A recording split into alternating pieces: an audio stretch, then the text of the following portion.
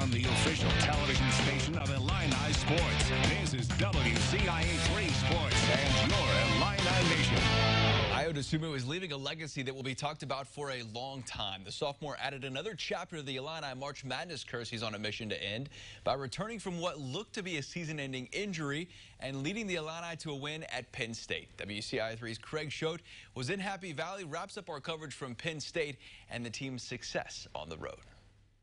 With the win over Penn State on Tuesday, the Illini have now won four Big Ten games on the road this season. That's tied for the most in the conference with Maryland and these Nittany Lions. After the game, Ayo Dosunmu was quick to thank the Penn State crowd for a little added juice.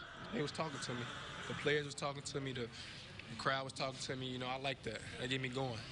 I like it. When I get in that mode where they talking to me, it's like the, the rims just get bigger and bigger. Once Dosunmu got in that mode, he made those fans hit the exits early as he put the game on ice.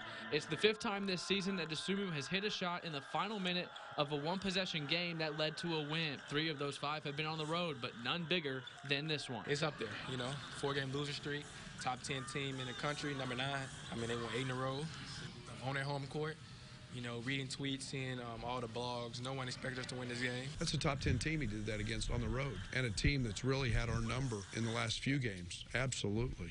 That's right there at the top. The win is the first against Penn State since January 2015 and the first in Happy Valley since February 2014.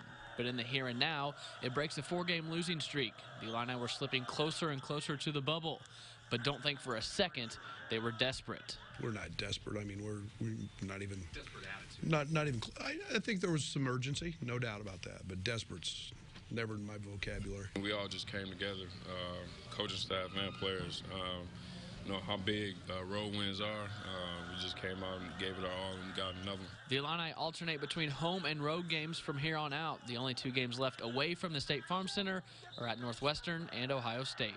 Reporting in State College, Pennsylvania for your Illini Nation, Craig Schote, WCI 3 Sports. Craig, thanks. Here's a look at the Big Ten standings. They're A five-way tie for third between Iowa, Rutgers, Illinois, Michigan State, and Wisconsin.